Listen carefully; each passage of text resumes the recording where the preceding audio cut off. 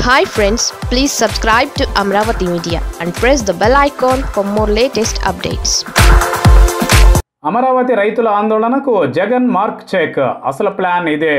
పాపం ఆంధ్రజ్యోతిని జగన్ ఎంత ద్వేషిస్తున్నా సరే అది తక్షణం మూతపడాలి అని కోరుకుంటున్నా సరే అది చంద్రబాబు అనుబంధ విభాగమని తీర్మానించుకున్నా సరే తన కోసమే జీవో రెండు వేల నాలుగు వందల ముప్పై తీసుకొచ్చినా సరే. వీలు దొరికితే తక్షణం రాధాకృష్ణను లోపల వేసేద్దామని అనుకుంటున్నా సరే. జగన్కు అది కొన్నిసార్లు అక్కరగొస్తుంది. అదొక ఫీడ్బ్యాక్. తన తదుపరి అడుగులకు మార్గం సూచించే ఓ పత్రిక ఓ సూచిక. నమ్మడం లేదా?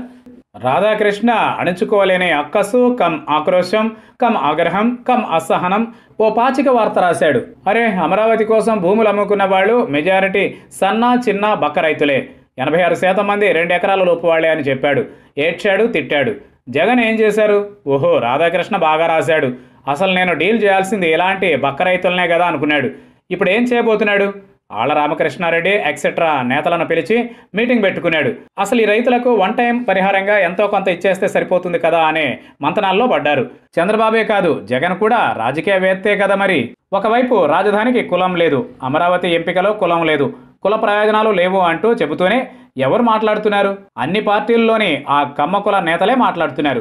వెంకయ్య నాయుడు మనసు బాధపడిపోయిందట. చంద్రబాబు కడుపు రగిలిపోతున్నదట. BJP Sujana Chowdary CPI Narayana CPM రాఘవులు etcetera అంతా వాళ్ళే. ప్లస్ ఈనాడు ఆంధ్రజ్యోతి ప్రత్యేక పేజీలు వెరసి వాళ్ళే అమరావతి మీద బలంగా ఓ కులం ముద్ర వేస్తున్నారు. దీన్ని బ్రేక్ చేసి చిన్న రైతులను సంతృప్తిపరిచి అదే సమయంలో రాయలసీమ కళింగసీమ ప్రాంతాల మనోభావాలను వాడుకునే పనిలో పడ్డాడు జగన్. ఇప్పటికే గంటా సహా కొందరు టీడీపీ ఎమ్మెల్యేలు కేఈ సహా కొందరు టీడీపీ నేతలు జగన్ నిర్ణయాన్ని స్వాగతించలేక వ్యతిరేకించలేక నానా మల్లగొల్లాలు పడుతున్నారు. విశాఖలో ఓ మైనారిటీ నేత టీడీపీకి రాజీనామా చేశారు. త్వరలో జగన్ విశాఖ పర్యటన ఉండనుంది. ఈలోపు అక్కడ ఇంకా ఆర్గనైజ్ చేయబోతున్నారు. ఇలా బీజేపీని టీడీపీని కార్నర్ చేసే ప్రయత్నం. కక్కలేక మింగలేక అన్నట్లుగా.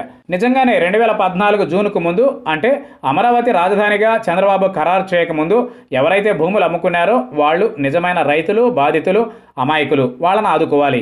తర్వాత కూడా Chandrababu mark insider trading scam అర్థం చేసుకోకుండా అరెకరం రెండెకరాలు అడ్డికి పావుసేరు చొప్పున అమ్ముకున్నారో వాళ్ళు అమాయకులే. బాధితులే వాళ్ళను ఎకరానికి కొంత ఇచ్చేసి ఆదుకుందాం. మిగతా వందల ఎకరాల ఆసాములను వదిలేద్దాం అనే కొత్త ప్రణాళిక ఆలోచిస్తున్నాడు జగన్. మాపో రేపో ప్రకటన వెలువడుతుంది. మరి తర్వాత చంద్రబాబు ఇంకేం చేయాలి? ధనిక రైతులు ఇన్సైడర్ భాగస్వాములతో ఆందోళనలను కొనసాగించాలా? కుదరదు. సో జగన్ ఏం ప్రకటించబోతున్నాడనేది ఆసక్తికరంగా మారింది. అప్పుడు వెంకయ్య నాయుడు సహా ఇంకా ఏ సామాజిక వర్గ నాయకుడు మాట్లాడే పరిస్థితి ఉండదేమో చూడాలిక.